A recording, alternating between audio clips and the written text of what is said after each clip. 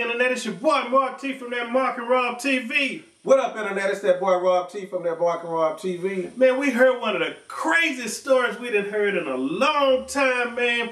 This dad, he castrated his daughter's boyfriend, man. God dog, man.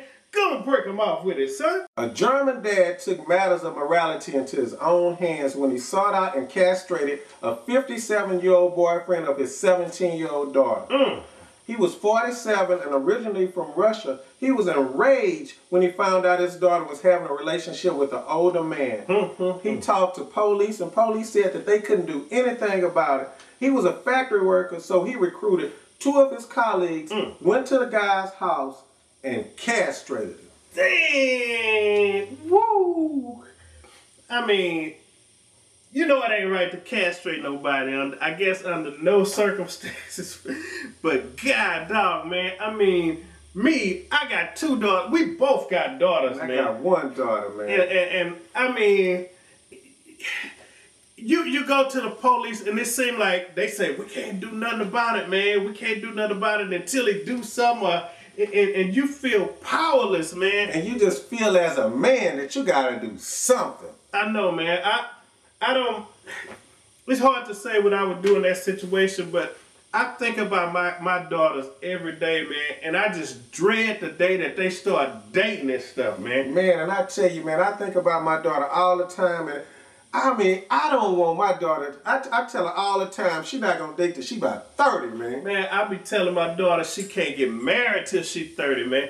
And the thing about it is, check this out. My my wife, when, when she grew up, she was kind of like, she had a strict family, and, and they didn't let her do too much of nothing, man.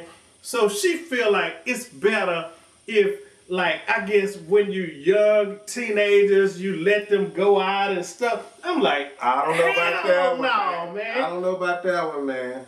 I'm like, nah, man, you can't do that, man, because I mean, you you gotta have an iron fist, man, or I something. mean, let's be real, man. You a dude, I'm a dude, and we know how dudes think. Man, I remember the stuff that I used to do when I was chasing them girls around, man. So, I mean, I think you you, you just gotta you just gotta lay down the law and just just be strict, man. That's being strict like that is gonna save you a lot of problems. A lot, and a lot of heartache too, man. Man, but I'm just interested to know what y'all think about this story. Let us know what you think about this story.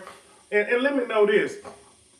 Do you think it's better to like, let's say, not really be a friend, but be kind of friendly with your children while they growing up?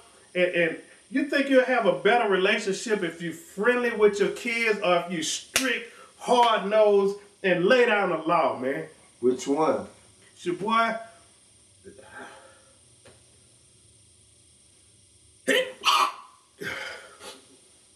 Just leave it in the comment section below. It's your boy Mark T from that Mark and Rob TV. It's that boy Rob T from that Mark and Rob TV. We out. Peace. Mark and Rob.